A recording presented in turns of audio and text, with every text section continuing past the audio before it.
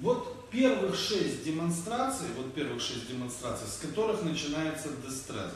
So these are the first six demonstrations Distress starts with.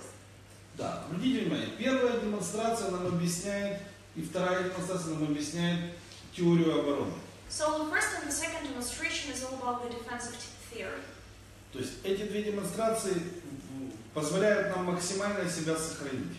And consequently, the, the knowledge of those two demonstrations helps us to live longer, to be secured. Третья демонстрация углы объясняет нам атаку. The third demonstration is about the angles principle, right? So they are about offensive. Четвертая объясняет нам атаку. Demonstration number four explains offense as well. Пятая объясняет зависимость силы и скорости. Demonstration number five provides the riddle's explanation of the speed and the power interaction. Шестая дает первую логическую модель, парящую как бы птицу. Demonstration number six is about the very first logical model, that is the flying bird, or the hovering bird in the sky. To И be вы помните, что у птицы есть и клюв, и два- две лапы, и, и крылья. And when we're talking about the bird, actually the bird has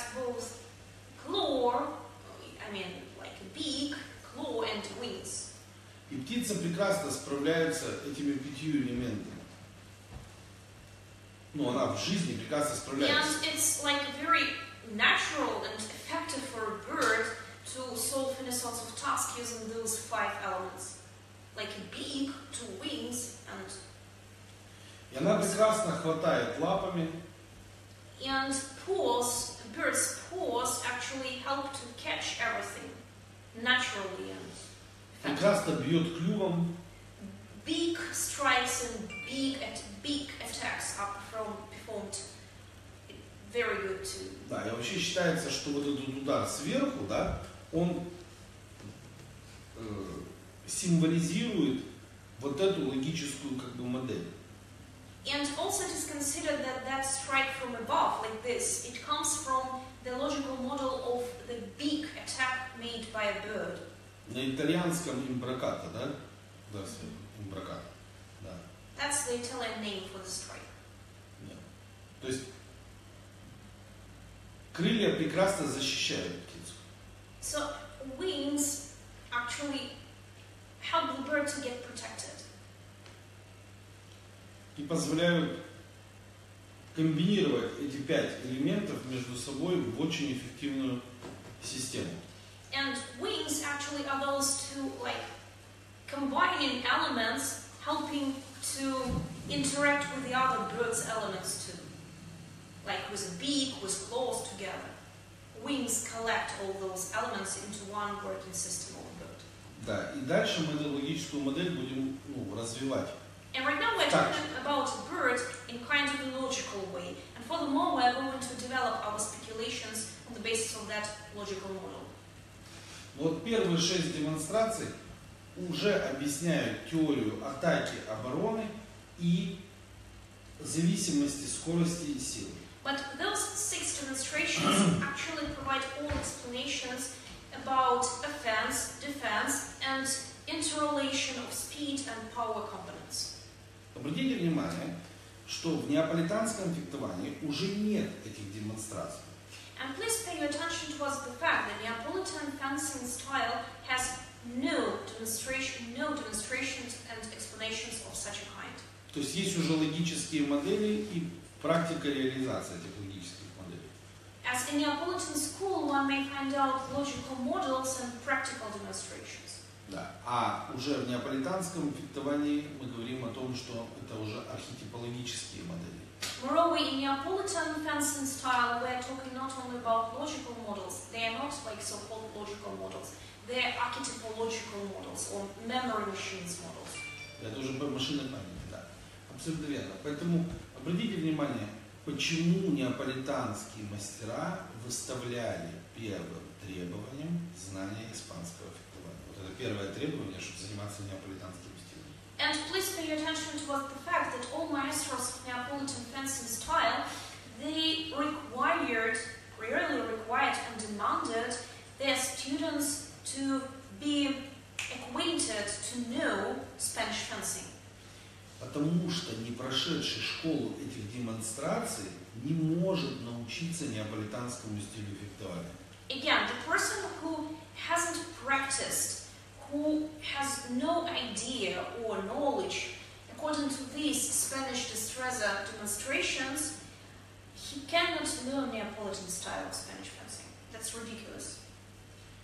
И у человека нет вообще понятия фехтования. То есть, когда он не знает первых шести демонстраций, следующих демонстраций, то есть он не знает всего третьего диалога наизусть, у него нет практики фехтования, как говорит Коран. So, and the Carranza finally says that right in case the person cannot uh, tell you the essence of the third dialogue, right in case he, does, he cannot quote it kind of close to the essence, it means that he knows, he doesn't know any fencing at all. Мы напишем здесь файл 160. So we've started with the abstract 154 and we have finished with the abstract 160. Файл 160. То есть человек, который не понимает вот этих вещей, он не то что мастером не является, он даже еще не ученик. So the person who doesn't know all those six things and principles, he is not a student. I'm not mentioning the level of master or maestro. He's not even a student. Вот скажите мне, много людей вы видели, которые могут объяснить эти шесть демонстраций? And let's think in the more or less objective way. Have you met many people who are capable of explaining you those six demonstrations and six principles? Я, например, за всю свою жизнь, честно говоря, не встречал. And Dr. Maltsev, actually, this is a person who has met lots of people, lots of masters and maestros, and still he hasn't met that rare person who knows those six Но, things. есть- но это не мастерский уровень. But moreover, those six things mentioned, mm, they are not for master level. This, this is not the knowledge of maestro level.